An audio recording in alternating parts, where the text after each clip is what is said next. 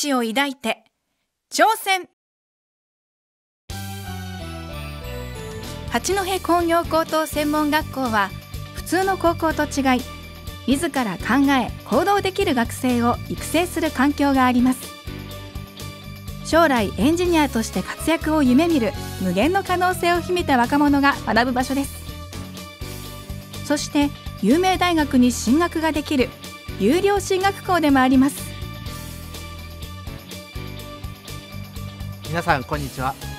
八戸高専校長の丸山重直です。八戸高専では皆さんの夢を叶える多くの可能性が待っています。本校では独自のカリキュラムで学力を高めることができます。また海外研修で国際性を身につけることもできるんですよ。本校の卒業生は一流企業で活躍しています。また難関国立大学への編入学や大学院に進学する学生も大勢います。八戸高専は皆さんの夢を実現できる学校になるでしょう。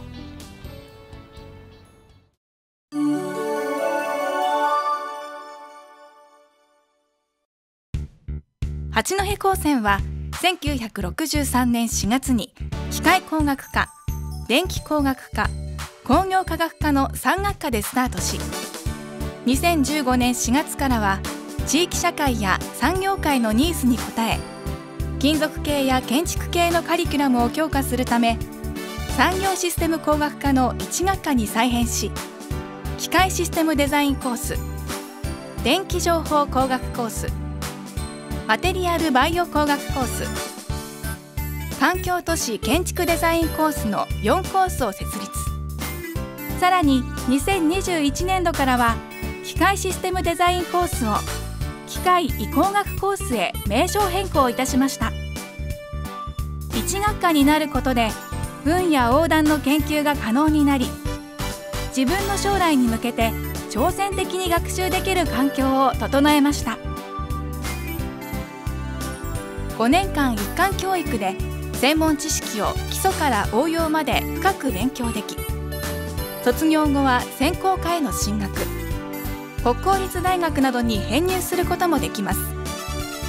八戸高専は大学と同じ高等教育なので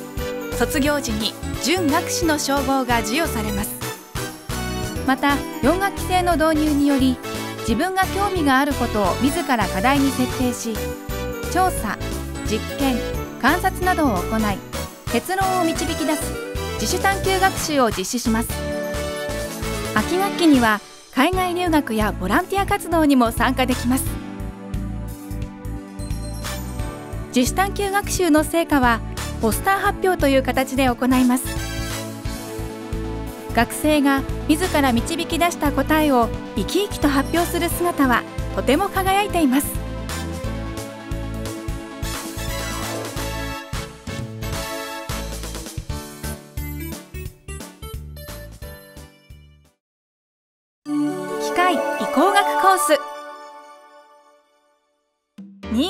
環境に優しく安全で信頼性の高い機械システムをデザインできるとともに医療福祉分野を中心にさまざまな発想を形にできる創造性豊かなエンジニアを育成するのがこのコースです。我が国における死因の相当数を占める血管疾患は血流による力学的な作用が大きく影響しています。私たちの研究室ではコンピューターによる解析を応用し管内をどのように血液が流れているのか。また血管壁にどのような力が作用しているのかを調べ病変発症のメカニズムを解明すること。さらには医療現場への応用を探り研究しています。当研究室では新しいがんの治療装置の開発を行っています。がんの治療方法には手術や抗がん剤を使った化学療法などがあります。しかしこれは患者の体に負担が大きいという欠点があります。そこで近年副作用が少ない治療方法としてハイパーサーミアが注目されています。ハイパーサーミアはがんが熱に弱く43度程度で温められると死滅する性質に基づいています。従来の治療装置は患者の体に傷をつけてしまう欠点がありました。そこで当研究室では患者の体に傷をつけず治療を行う装置の開発を行っています。当研究室で開発している空洞共振器加温装置は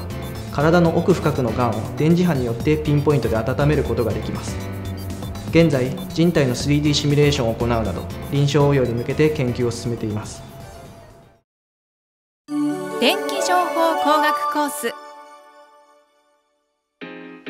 エネルギーエレクトロニクス情報通信の3分野の基礎と先端を学び幅広い視野と豊かな人間性を備え想像力あふれたものづくりに強い実践的技術者を育成するコースです。私の研究室では人間とコミュニケーションを取りながらさまざまな動作を行うヒューマノイドロボットの開発を行っています。センサーで状況を認識しどのように振る舞うかを判断そして行動します。その結果として評価が与えられます。このような流れによりロボットが賢くなるように自ら学習する仕組みをソフトウェアで実現しています。ワイヤレス電力伝送は、えーと、電解や実解を利用して、えー、無線で電力を送る技術です、えー、ケーブルがいらないので利便性が向上するほかにも、えー、充電のためのコネクターが、え不要になって、え防塵や防錆などの効果も、えあります、えそのようなワイヤレス電力伝送技術はスマートフォンなどの充電器などモバイル機器を中心に数多くの製品に実用化されております、えー、さらに、えー、最近では電気自動車への給電など多くの分野で研究開発が、えー、盛んになっています、えー、私たちはその中で、えー、電池誘導の原理を利用した方式のアプリケーションについて研究しています。マテリアルバイオ工学コース。科学技術はすべての産業のベース技術。バイオ工学分野を中心としそれを超えた複合的課題にも取り組める広い知識を持った実践的創造的技術者を育成することが目的のコースです。私たちの細胞の中にある生命の設計図すなわち DNA は日々紫外線やタバコの煙に含まれるさまざまな化学物質により傷ついています。このような DNA の傷はがんや老化などの原因となっていると考えられています。私の研究室では食品摂取により DNA の傷を少なくすることでヘルスケアを行うことができないか調べています。燃料電池車が発売され水素エネルギー社会が本格的に到来しました。皆さんは水素が石油や天然ガスから作られていることをご存知でしょうか？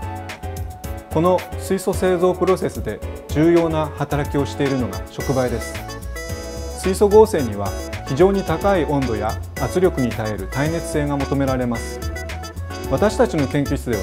極めて耐熱性の高い触媒材料超高耐熱性アルミナの開発に成功しました。このアルミナを用いることで効率的な水素合成が可能になります。さらに自動車排気ガス浄化触媒やさまざまな工業触媒への応用を検討しています。建築デザインコース。人と地球に優しい快適で安全安心な暮らしの創造というグローバルな視点を持つものづくりに強い実践的技術者を育成するためのカリキュラムが用意されているコースです。当研究室では北と北の厳しい寒さのために消費する暖房エネルギーを減らし建物の屋根外壁窓の高断熱化による外皮性能の向上冬は日差しを窓から室内に取り入れ夏は長い日差しで遮蔽するといった工夫をすることで快適な住環境を実現する住宅の低燃費化に関する研究に取り組んでいます。実証住宅での温度測定の結果外がマイナス5度以下の日でも暖房を使わず10度以上の室温を保つことが分かりました。私の研究室では空気や水の流れをコンピューターによってシミュレーションすることを行っています。吊り橋や高層ビルのようなとても大きな構造物になると風の作用によって振動してしまうことがあります。このような振動がどのような条件で発生するか事前に知っておく必要があるのでこれを流れのシミュレーションによって確かめることを行っています。この方法では流れの詳細を知ることができるため振動発生の原因の特定や振動を抑制するための対策に役立っています。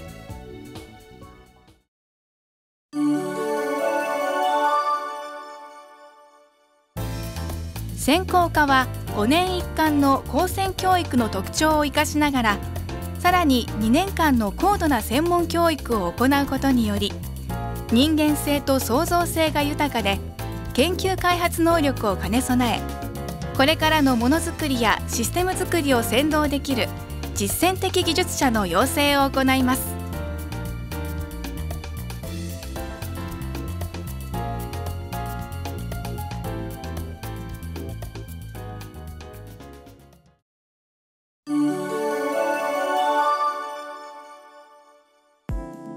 八戸高専は国際交流にも力を入れています。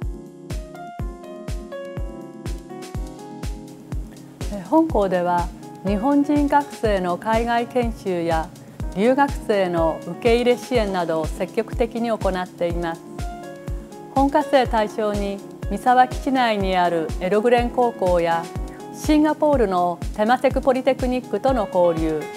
専攻科生対象にフランス、フィンランド、タイの教育機関と交流を行っています。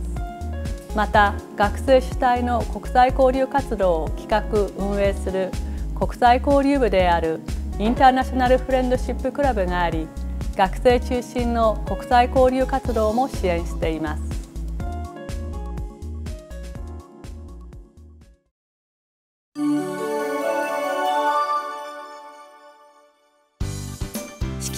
は図書館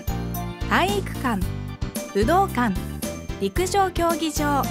野球場テニスコート水泳プールなどがあります。さらに快適な学生生活のための福利厚生会館には格安で豊富なメニューがある食堂と学生生活に便利な売店があり保健室学生相談室はゼミナール棟の1階にあります。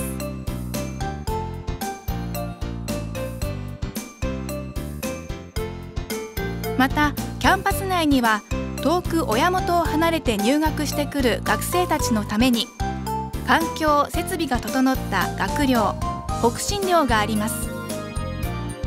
寮祭や球技大会などのイベントが開催され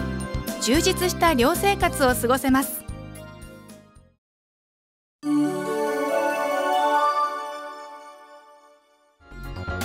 八戸高専には全国高専大会に出場する強豪クラブをはじめロボットコンテストやプログラミングコンテストなどに出場する愛好会などを含めて多くのクラブがあります。また多くの先輩や仲間たちと共に放課後の充実した時間を過ごすことで協調性や人間力の育成にも大いに役立ちます。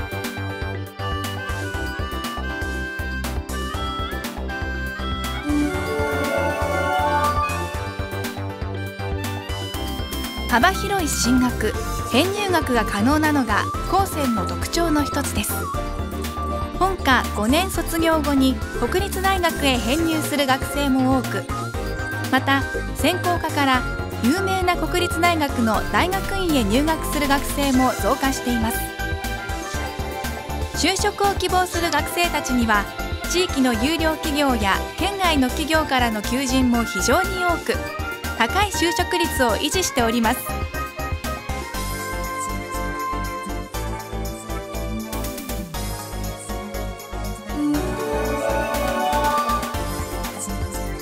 八戸高専には高専ならではのユニークな行事がたくさんあり学校生活が楽しくなること間違いなしです。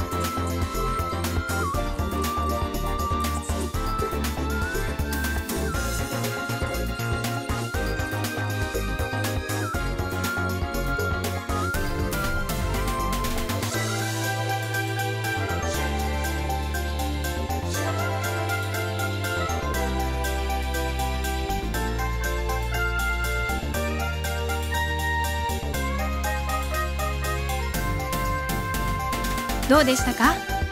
正解のない課題に取り組み答えを導き出せる力を身につけられる場所。それが八戸高専です。皆様が自分の力を信じ進んでいける環境を用意して待っています。大志を抱いて。挑戦